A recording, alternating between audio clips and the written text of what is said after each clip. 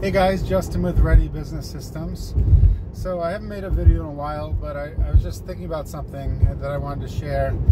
The idea of uh, how easy it is to waste time. So a couple ideas kind of came together. The first one is that I went to the shop the other day and I was there in the morning when the guys were getting out and I saw a trailer pull up in front of the garage and the mechanic came out and he inflated the tire.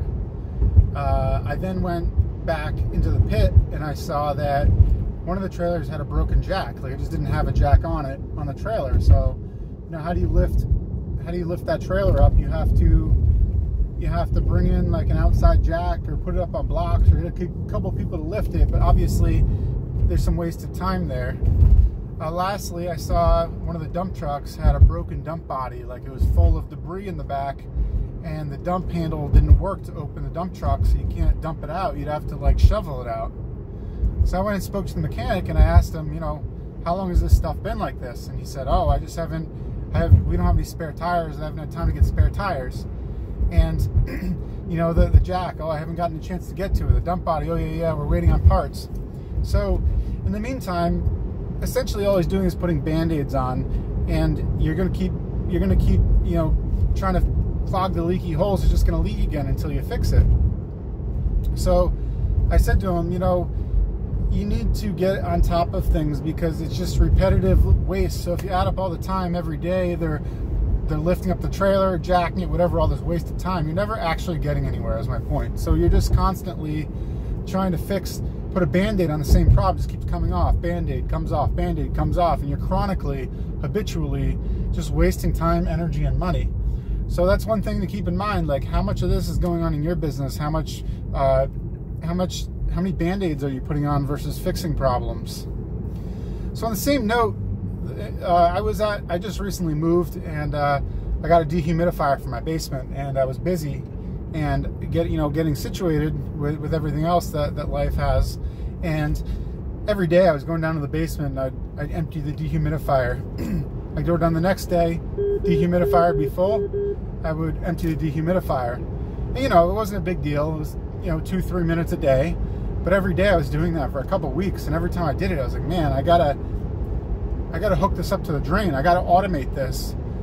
So if you if you cross that to your your business, you know, if you're manually doing anything that can be automated, for example, in this situation, you put a little pump on the on the dehumidifier, it pumps it into the into the drain, and you never have to touch it. I mean, the pump will last 15 years. You never have to do anything, and now you have an extra three minutes every single day.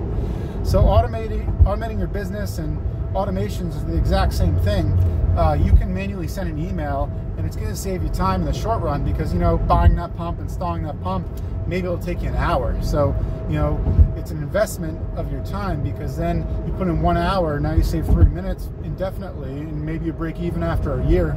I, I didn't do the math out, but it's the same thing. You know, you got to put in the time. It's just like hiring a new employee. You're you're overwhelmed, you're doing all this work, you don't have time to hire another employee because it's actually going to take more time when you first get started. So that's the same thing with automations. You're going to have to invest some time, get started. Uh, it's going to take more of your energy, but then it's going to be an investment that's then going to start paying off. And the same goes, the more that you do, eventually you're saving three minutes here, five minutes there, 10 minutes there, an hour here, and all of a sudden you know, your business, you have all this free time and you're like, where'd all my time go? And, you know, that, that applies to all aspects of life, but I kind of wanted to stretch that across to the business. So, uh, you know, keep an eye out for, for, for leaks in your business, any, any uh, bad processes, any band-aids that are being put on, and think about automate what you can automate, anything that you're doing repetitively, that there is an alternative solution that you can have it done. So I always say, the first thing to do, if you're doing something over and over, if you do it for more than the second or third time, you should be thinking, how can I not do this anymore?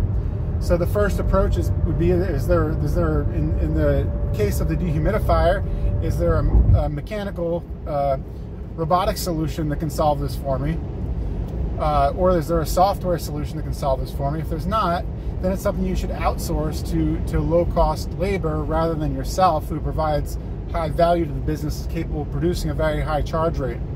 So, you know, in, in, the case of dehumidifier, you can you can buy something to do it. In case of sending an email, maybe you can automate that with software.